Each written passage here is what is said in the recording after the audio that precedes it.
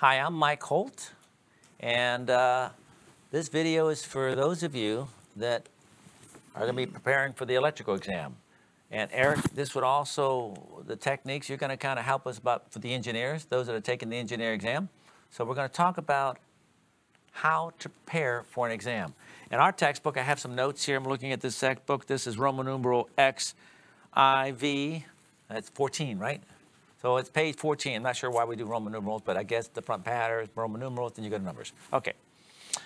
If you take a look at it, the very first thing is talking about steps to passing this exam. Number one I have on there, being mentally, emotionally, and physically prepared. I've had people taking my class and then they drop out. When I was teaching journeyman exam preparation, master's exam for many years. And I'd see them two, and they were just doing terrible. And I see them two or three years later and they say, I'm like, and they're doing great. I mean, it's like a totally different person. I'm like, what happened this time? He goes, I'm ready. In other words, there's a mental state that you have to recognize that until you made the decision, I'm committed, you're not going to be really focused. And guess what? It's okay not to be focused. It's okay not to be ready. So you don't want to be pushing a rope, but you got at some point, a, a parent died, a situation came up, uh, you had a baby unexpected, the circumstances, all of a sudden you realize, you know what? I've been kind of screwing around for since I was whatever, and it's been, and you're 30 years old, 40, 50 years old. So you know what? I want to change my life. I'm tired of just digging ditches or pulling wire. I want to move on. And I was thinking this morning as I was getting ready for this program here, is that I'm thinking those of you that are taking the test, you get your journeyman's, and then or you get your master's license. And I was thinking about you, Mario, and I was thinking, wow, you know what? Everybody that's finished my course should be getting the ultimate training library because you should be studying about estimating. You should be studying about business management, uh, life skills. I thought, you know why I thought about that? Brian, we were in Boston, and I won't name the electrical contractor's name. Do you remember how much he said he was paying his project managers? Yeah, over $200,000 a year over $200,000 a year. Now, you don't pay somebody in the electrical industry over $200,000 a year unless they are what? They're making you more than $200,000 a year. These people, and I thought, well, how did those guys, how could you possibly get a job making $200,000 a year or, or more than that? You had to have unbelievable skills in management and organization and planning. And I realized, holy mackerel, every single person that takes a course they should take this, get the journeyman's, immediately do what? Study for the masters. Immediately study for the business management, project management, estimating, the life skills, all our programs, because the more you prepare yourself and the skills that you get, the doors that are going to open for you are going to be so much more than you just get your license and now you're a master electrician, but well, we can't have you estimate and we can't have you project manage it because you don't know how to run a business. You got to realize you are you are a business. Yep. You are blank, you are me Inc. And if you want that business to be successful, well, you better invest in that business. Of course, you, you're watching video. That means that you purchased the library, but I'd recommend that you take all of our products, every single thing, go through the fundamentals, then the code, then the exam preparation, then immediately move into the next business section. I wasn't actually planning on talking about that. I was talking about how to prepare for the test. Okay, so now we get you ready. You're all mentally set. I need to go to Roman numeral 14. And, okay, look at the bottom, Mike. They're in the Roman numerals. Here we go. Mentally prepared. Emotionally and physically prepared. Now, not only do you have to be yourself mentally prepared, okay, I am committed. I realize I need to focus. That means you have to make sacrifices. If you're going to be preparing to do and pass this exam, what a sacrifice you have to make here. Well, um, you have to get with your family, and your family might not be supporting you. You know, sometimes your spouse um, is not, not real. Come on, why do you have to do this? Uh, why do we have to do this? And, uh, and you just have to set the focus. And you can say, listen, this is what I'm doing. Now you have to prepare. You got to let them know this is the time I'm doing it. These are the days I'm doing it.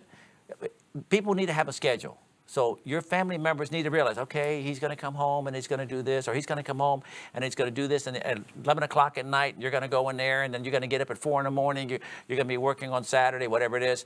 I mean, I would get up early in the morning And I mean, not that I wanted to. I hated getting up early because I delivered newspapers, so I hated that. But and I would work late at night. And Saturdays, oh, I would spend at least 12 hours on a Saturday. Oh, at least 12 hours on a Saturday. They knew I was gone on a Saturday.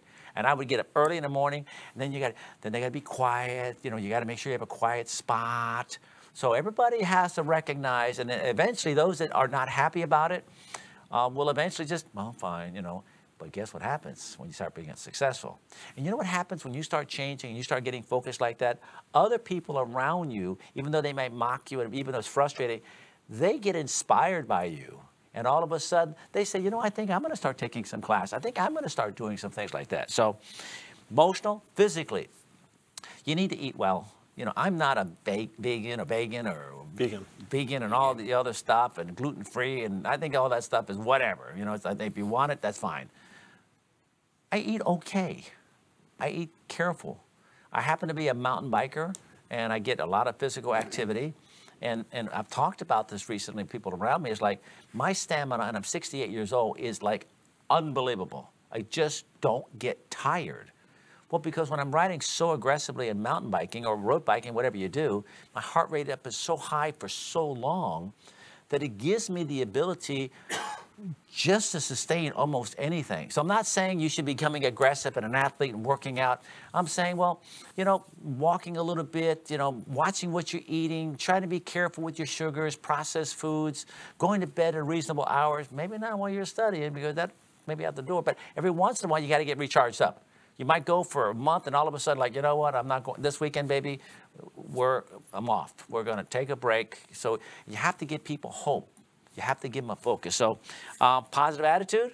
Listen, if you're watching this video and you actually have my library, and it looks like preferably the ultimate library, um, you're already committed.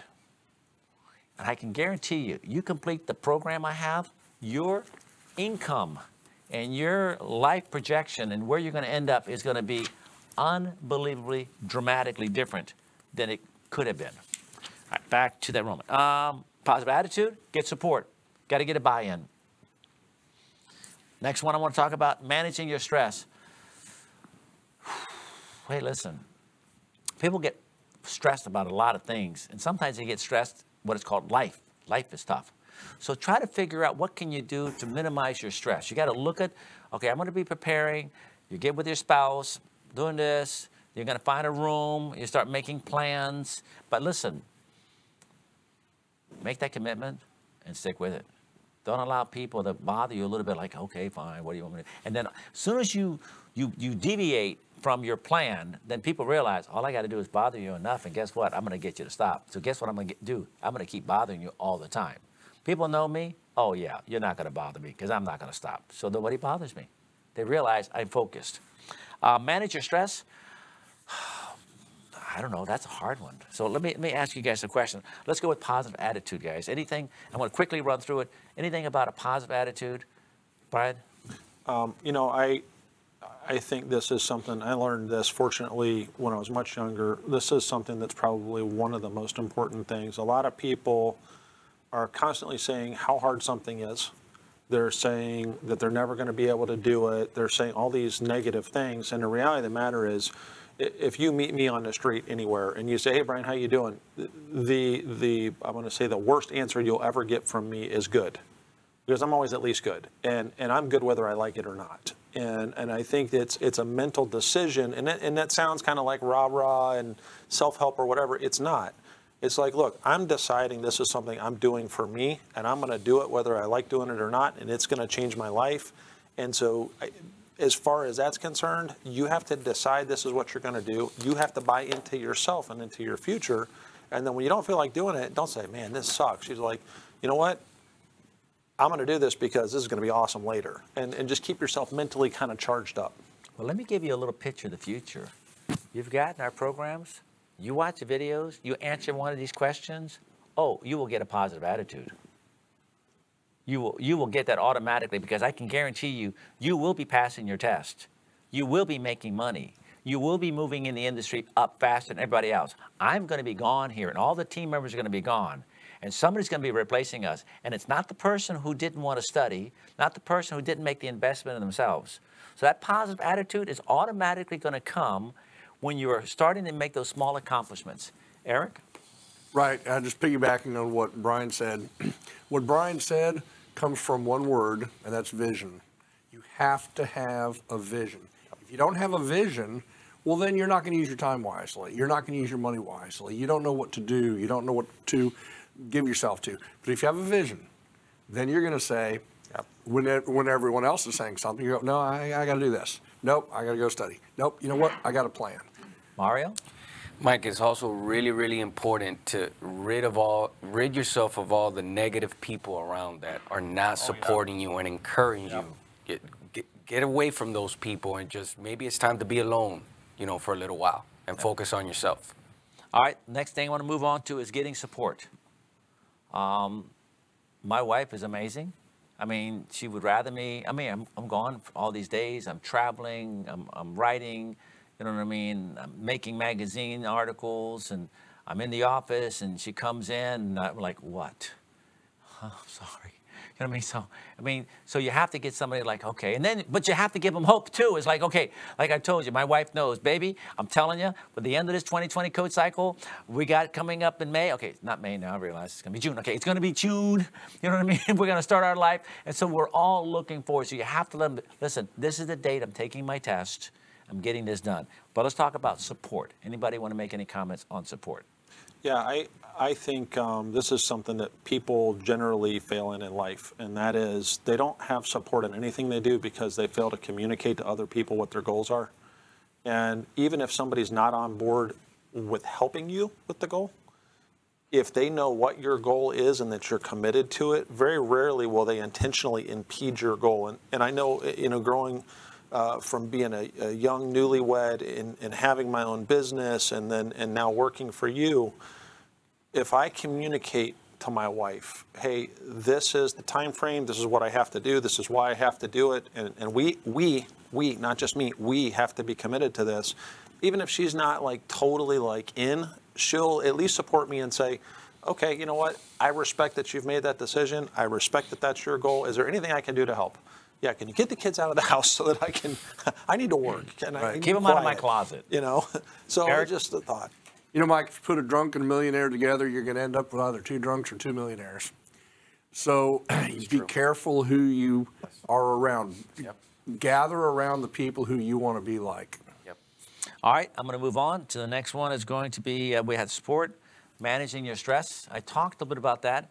I don't know if anybody has any uh, any other comments on there. Yes, Lloyd. It's- A lot of people have hard time taking tests that are just not great. I'm talking about preparing. That's, I I know. Okay, So- go ahead. So part of that is managing the stress that goes along with, okay, I don't take tests well, so they psych themselves out. It, it's a matter of getting focus on how, how you can uh, just say, I'm going to be fine. Just talking yourself through it and like, it's okay if I fail this, you know, if it, it's okay that I, I've prepared and it, I'm just going to go in there and I'm going to learn what I can learn and just try to overcome the mental process of freaking themselves out. Hold on.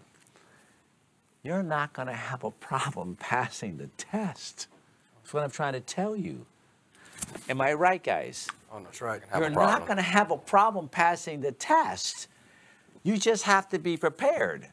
So you get the library, you go through the books, you watch the videos, you answer the questions, you go back and you review the books.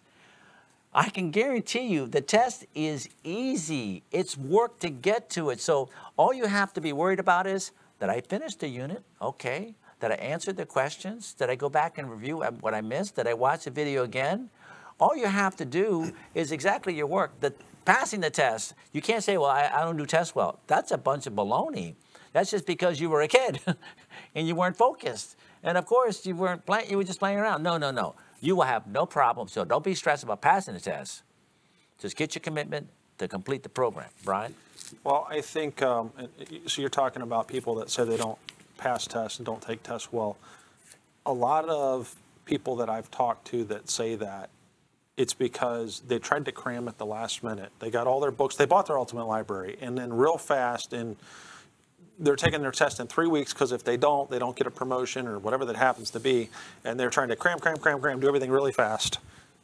And they get to the test and they're not prepared. They're like, oh, I oh, studied yeah. 50 hours. Well, you can't take six months worth of studying and thinking and processing time and squeeze it into two weeks before an exam just because you found out your company is going to have a position open.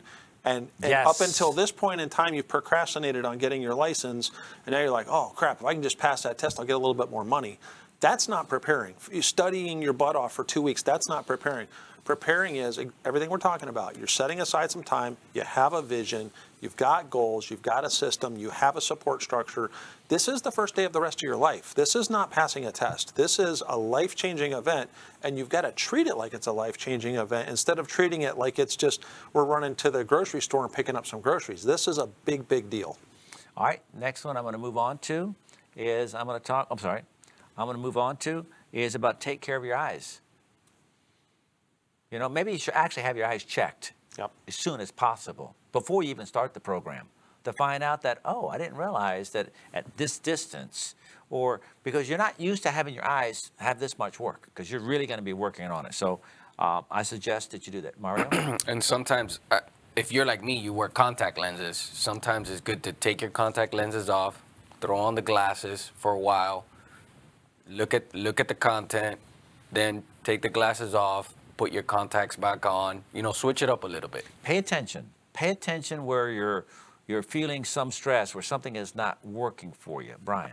So, two things from a technological standpoint. Um, your computer has what's called night mode.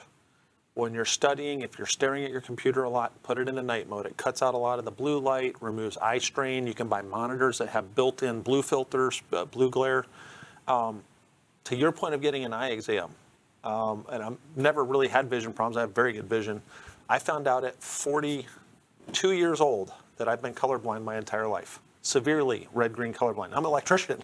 Somehow I survived my entire career being severely red green colorblind because it's the first time I had a comprehensive eye exam. So don't just go in and read the chart, go get an eye exam. Okay, reducing eye stress. Now you have your eye exam. You have your you have your glasses. You're you know you- you're getting comfortable. Uh, I'm afraid I might say not say something here. Make sure you have a place that you're going to be doing. Uh, a lot of guys would tell me, man, they told their wife, and the wife's like, yeah, let's get him. You know, some women are pretty smart. Let's let's get this boy. He's finally he's going to get it together. Finally, he's going to start studying. Finally, you know, he's going to be he's going to man up here, whatever the case may be. And they're like, okay, I'm going to get you a spot. I'm going to take care of the kids. You know what I mean? Because you know, as a team, right? We we want you know you want to help the other person. So she'll clean out a closet, put a desk in there, put a chair in there, get the lights inside there, get it all set up, and say, okay, that's where you're going. And there are wives out there saying, okay. I got the kids. Go in your office, get your book done, get your study done. When you get that done, then you can come out for dinner. So there's some wives in there that are really, really focused and will help you. Other wives are like, oh, come on, why? Or even I'm sure husbands are the same way with the ladies that are trying to study. So get a workspace. Let's talk about the workspace. You need a table. Let me say, you need a table, comfortable. You need a chair. You need the proper lighting. You need the pencils, rulers, highlighters, your code book. You need to have spaced out. You need a computer. Uh, you need all your tools. You need to be like, when you walk in there, you walk in there, it's like, you almost feel like this. Vince, you know what I'm talking about? Your little spot. It's just like, ah, Yeah, you spot. definitely need a spot. You need to feel comfortable. You have to feel comfortable going in there. Yeah, you don't because wanna if you like- don't, you're shooting yourself in the foot, you know, from step one. Well, because you don't want to go there. You know what I'm saying? Mm-hmm. You don't want to go on a dining room table where the kids are pulling the things down and they're coming up, they're climbing up on your lap, they're trying to get on the monitor, to get on the keyboard. And you, you, what you're doing that was like, okay, just stop for a second. But not in the dining room. You have to be away, close the door. Eric, you're going to say something. Yeah, so I did that at the local library. And I would have a table at the library, and I had all my books out at the library. Well, you went to a library to do this. I went to the library. And it got to the point where the librarian would come at late in the day and come over to my table and say, just let yourself out whenever you're finished. All right, so find your spot. Anybody else have anything else? You're mentally prepared, you're physically prepared, you're eating properly, you're sleeping properly, you're checking out your eyes, you're, you're working with a family, you're committed, you're not going to worry about stress. You're going to pass. That's that, not even a question. But it's not just passing. Then you continue study. It never, ever, ever ends. Those of you guys that see me all the time, you see I'm, I'm actually, I'm 68 years old. I'm still getting better. I'm still studying. I'm still paying attention. I'm still aware of what's going on. I'm on fire. And I started this when I was a pretty young guy, and all these guys here are doing the same thing. Brian? Well, I just have to, uh, if you want to go to my computer, your son Michael does a really great job at having a work environment. And he he sends does. me pictures. It doesn't matter if he's at the coffee shop, he'll send me a picture. He's got his notepad and his pen. He's got his iPad on the stand and his laptop. If he's in his in his office, he's got his everything, every single thing. He, and uh, probably because he's your son, right? And he, he was taught this, but I mean, it doesn't cost a lot of money. Just you have a desk and you just be organized. Uh, You go to the library, you know, Michael texts me pictures all the time. Hey man, I'm doing an estimate at the Dunkin' Donuts, and he's like perfectly laid out at the Dunkin' Donuts doing his estimate. You just wherever you're at, turn that into your study environment. Put in your headphones, whatever you have to do to be able to focus on what you're doing. Yeah. Now, my son Michael,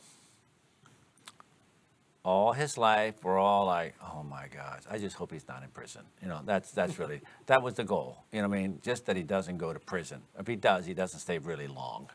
I mean, he's always doing, and he's not a bad person. He's just a curious person, which is great being the electrical trade because he loves to take things apart, and of course, he, then he gets bored not putting it together, and then he, and he's all over the place.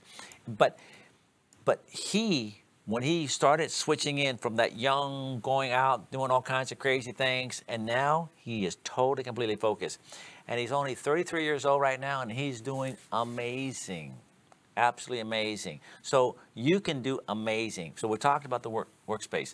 Workspace, we got the family, eyes, physical.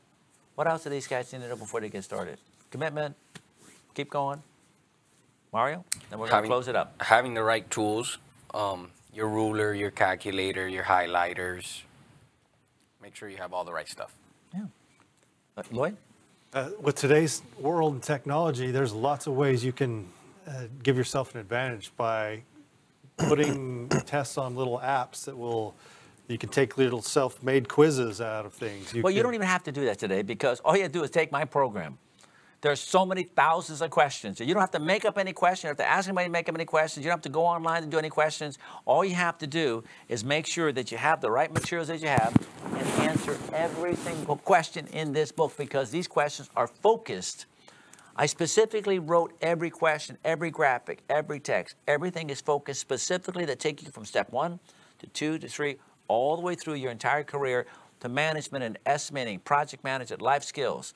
So I wouldn't go out and do all those things. I would, if- you finish every single thing I have, then go back and watch the video again and answer all the questions. And if you've done all of that, then you finish, then guess what? Now go out and learn about sales and marketing and, and dealing with people and, and things like that. Eric? Yeah, also very important, find out when your brain works the best. There are some people, you know, the morning is a great time. I've heard it said, and I've seen it myself, that when you're learning, try not to learn after nine o'clock at night, because, uh, but, but it's different for every person sometimes, and find out when your brain works the best, and then focus on that time to do your studying. You know, I was looking at the book here, just looking at some comments here. One of the things it says, uh, actually, you better find out where you're taking your test, when you're taking your test. So sometimes people with all the studying, like, well, what do I do? Well, somebody better contact, if you're going to be passing a license somewhere, then contact, go to mikeholt.com, click on probably exam preparation. It's probably linked there onto the states. And if you're in Colorado, you click on Colorado, you take the picture of Colorado or the list, you go there, go to licensing board. So make sure you take care of all that paperwork and you get yourself organized so that you're going to be prepared to do that. Brian? Um, you know, we're talking about this. Um, if you want to practice taking something online, we have the practice master and journeyman exams online. So you might want to practice working on a computer for an exam because you're probably going to be taking on a on a, uh computer.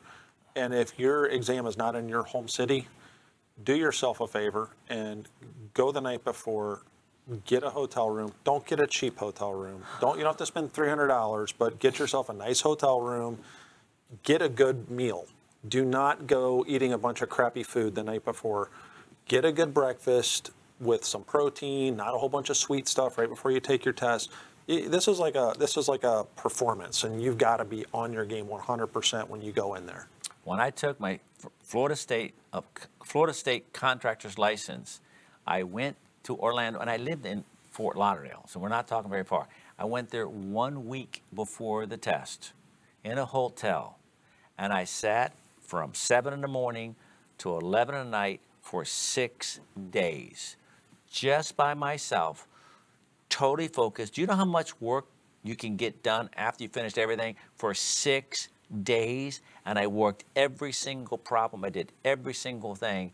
Then I took the afternoon, maybe I got off at four or five o'clock on the day before the test, slept, ate well the whole time, and obviously I did very well when you take the test. Guess what? I was so focused. So don't just go rush out of a job site and do this and then just go take. You, need, you need to prepare. What am I test? What am I doing before? Work it out. Okay. A couple things I'm looking on my notes here is uh, give yourself enough time to prepare. Brian, I think you said that. Listen, don't just like all of a sudden I'm going to no. Set a date, get it done. How long is it going to take, Mike, to complete a program? I don't know. Have you have you done our fundamentals? Did you do our UniC one or UniC two exam preparation? I'd say study really, really, really, really, really hard at least six months. Yeah. At least six months. Well, I have to take the test in three months. Okay, well then study the best you can for three months. I need to Study take the twice as hard for three months. I need to take a test in a month. Oh, and Okay, whatever you got to do. But to me, the more you prepare, you can do you can do well on tests. Eric. Yeah, and there's and I, I look at studying. There's two different kinds of studying. One is you're trying to find the right answer. The other one is you're trying to understand the question. And so, try as much as possible. Don't try to get the right answer. Spend your time studying, trying to figure out, understand the question, understand why they're asking the question. Because if it's an example question, there's a good chance it's like something on the test. Well, here's the deal. You don't have to worry about anything. You just answer every single question that happens in this book and all the other books. You don't have to do all that stuff because the program is designed to get you mentally thinking so that when you take the test, that would be like it used to be if you didn't have this program, right? Right. But if you have a program you're following, you just do this, you're not worried about it, you're going to pass, it's not even a problem because you had everything you had to do and you're finished. Mario.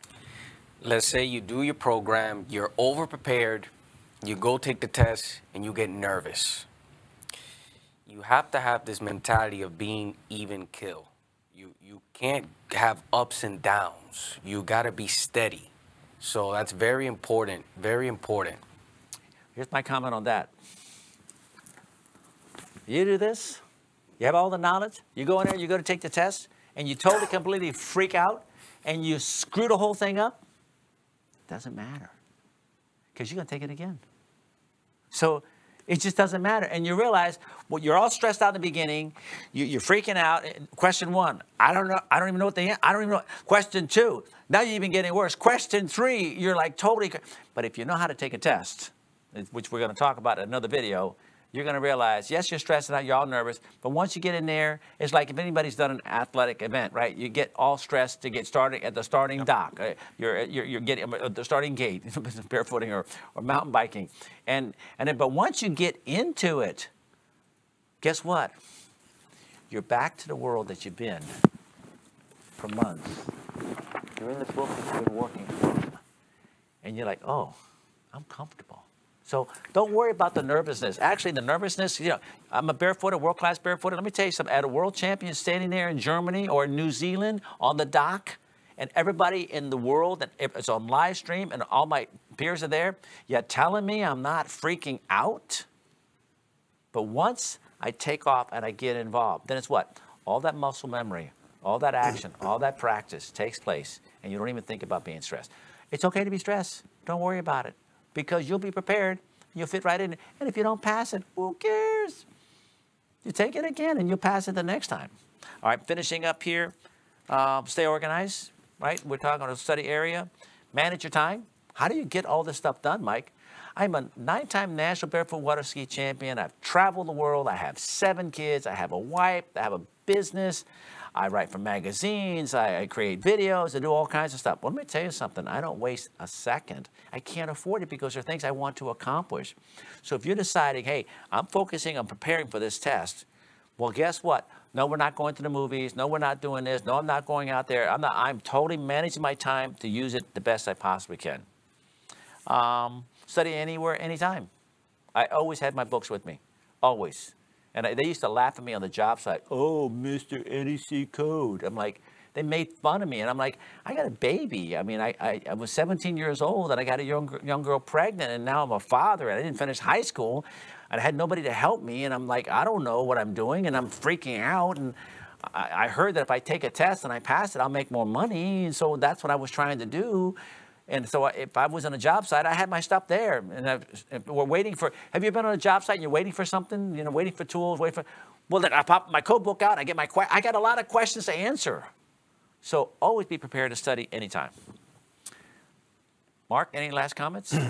Yeah, I would like to say that um, even after you, you get topped out in your journeyman or your master, don't stop learning. It just, you know, we get a new code cycle every three years. There's publications, the magazines you write for, they're full of information, and just keep learning. Always have this attitude that I, I need to just take it all in. Let me tell you something. Exam is easy. You might have to spend six, eight months. You might have to spend 600 hours. You might piss off a lot of people because you're studying and you're making sacrifices and you have to do what you have to do. But you know how great it feels when all that work and now you get licensed. And like you said, Mark, we're not stopping here. Now, you dial it down, right? I mean, we're, we're not doing the effort that we, we're dialing it down, but we're always moving forward. Anything last, guys? Because I'm not, okay, Eric? Yeah, always remember, the competition is always with yourself. You're never really ever competing against anyone else. You're always competing with yourself. Well, thank you guys for watching this. Hopefully that'll kind of get you focused. What you need to do to make a lot of money, to feel good about yourself, and most importantly is, is, to, is to be happy. And if you take, make a lot of money, feel good about yourself, be happy, that's called success. Whether you make the money or not, but it's kind of nice to make the money. Let's be honest here. All right, God bless.